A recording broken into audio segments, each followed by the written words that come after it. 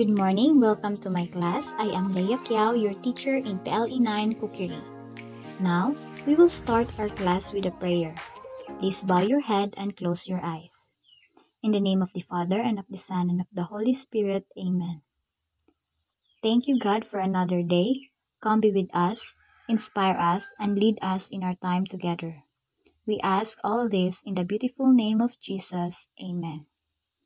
Okay, good morning once again. Okay, now, please raise your hand if you love desserts. Okay, I know we really love desserts, so think one of your favorite dessert and at the end of the lesson, you will identify what type of dessert is your favorite. Okay? Now think about it. Our topic for today is about desserts. It's very familiar, but do you really know the types of desserts? If not, then it's your time to listen carefully. But before that, we have learning objectives that at the end of the lesson, you must first identify the types of dessert. Second, explain the importance of dessert in a meal. Third, classify desserts according to types of ingredients used. Fourth, demonstrate enthusiasm in learning the different types of desserts. And the fifth one, listen attentively showing deep respect. Now let's proceed. Dessert is usually sweet course or dish usually served at the end of a meal. The importance of dessert in a meal are first, dessert balances out a meal and gives closure to the meal. Second, it is an opportunity to experience different flavors and textures that you cannot get in other foods like veggies, meats, and fruits. Third, there's an opportunity to be creative. You can make interesting mixtures that you otherwise may not have thought of. Fourth, dessert isn't fattening. Remember, there is no such thing as a fattening food. Fifth, it will make you feel like a kid again. Sixth, it is romantic. Desserts are designed for romance. So that's the reason why desserts are important in a meal. Now, because we already know the importance of desserts, let's proceed to the types of desserts and their characteristics. Number 1. Fruits. The simplest dessert and one of the best because they are nutritious, appetizing, and easy to prepare and serve. There are characteristics of good fruit dessert. Appetizing aroma, simple, clean wash appearance, and must be slightly chilled. Number 2, cheese, is another excellent dessert that is ready to serve. It is made in all parts of the world from a variety of milks from cow, goat, and sheep. Cheese differs depending on the kind of milk used.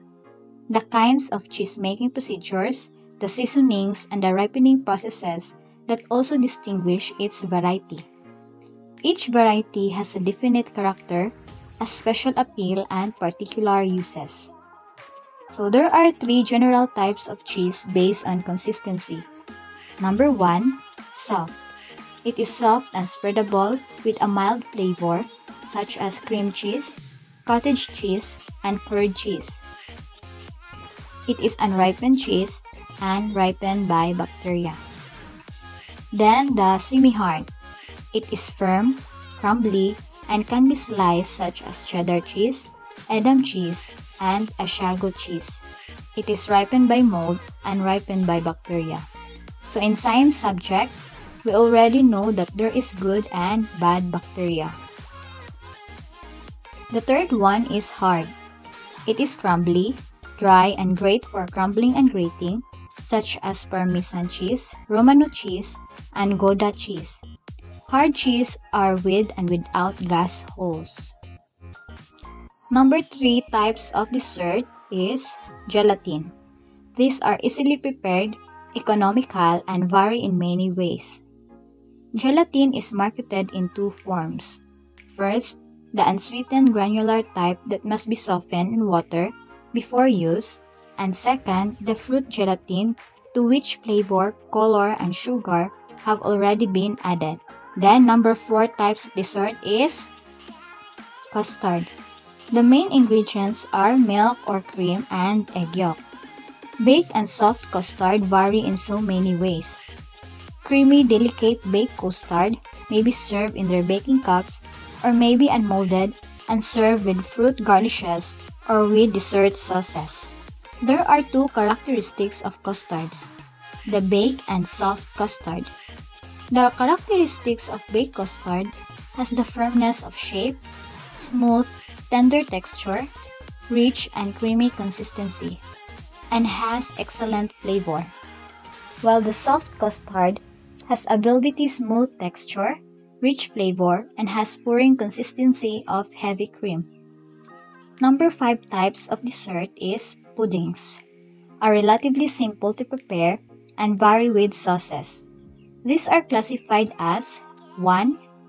Cornstarch pudding, sometimes called blancmange. Number 2. Rice pudding. And number 3. Bread pudding. The characteristics of pudding has attractive appearance, excellent consistency, well-blended flavor, firmness of shape, and accompanying sauce to add interest. Number 6 type of dessert is fruit cobblers. These are not fruit pies. They have a depth of 2 or 3 inches and are topped with biscuit dough rather than being made with pie crust. They may be served either hot or cold. Number 7 type of dessert is frozen desserts. So there are three types of frozen desserts. First is the ice cream. It has smooth frozen mixture of milk, cream, sugar, flavorings, and sometimes eggs. Second, the sherbet and ices. It is made from fruit juices, water, and sugar. American sherbet contains milk and cream and sometimes egg white. The egg whites increase smoothness and volume. Ice contains only fruit juice water, sugar, and sometimes egg white. Third are the frozen souffles and frozen mousses. Are made like chilled mousses and Bavarians, whipped cream, beaten egg whites, or both are folded to give lightness and allowed to be still frozen in an ordinary freezer. Now let's recall the seven types of desserts. First is the fruits. Second is the cheese. Number three is gelatin. Number four, custard. Five, puddings. Number six, fruit cobblers. And number seven, frozen desserts. So, what type of dessert that they are not fruit pies? Okay, it's fruit cobblers. Then, what dessert is the simplest and nutritious? Okay, very good. It's fruit desserts. Now, get a piece of paper and you will write down your answer. After this, you will take a picture of your answer and send through my messenger account and that will be your attendance for today's session. Now let's identify what type of dessert based from the picture shown. Number 1, number 2, number 3, Okay, number one is pudding. Number two, frozen desserts. Number three, gelatin. Okay, so who got perfect? Okay, please send to my messenger account. Then let's proceed. Why is it important to have a dessert in a meal? Okay, dessert has many importance, but one thing is for sure that dessert balances out a meal and gives closure to the meal. Okay, how about you? What can you say about dessert? Now, let's classify the following according to the types of desserts. Same instructions, answer in a piece of paper, then send through my account. Number 1, ice cream. Number 2, fresh mango. Number 3, rice pudding. Number 4, mozzarella cheese. Number 5, corn maja. And number 6, leche flan. Okay, copy. Then, in the assessment, write only the letter and sent in my messenger account. Number 1. Which of the following is considered the simplest dessert? A. Custard B. Fruits C. Gelatin D. Puddings Number 2. It is made in all parts of the world. from a variety of milk from cow, goat, and sheep. A. Cheese B. Cobbler C. Custard D. Yakult Number 3. What part in a meal or in dessert is best eaten? A. Before the main dish B. At the middle of the meal C. Last part in a meal D. Anytime in a meal Okay? Did you copy? Okay, screenshot and answer. Okay, so did you learn something from our topic for today? I will end my class with a saying, there is always a feeling that your meal will never be completed without a dessert because desserts really satisfy our meal. Thank you for watching and see you all next meeting.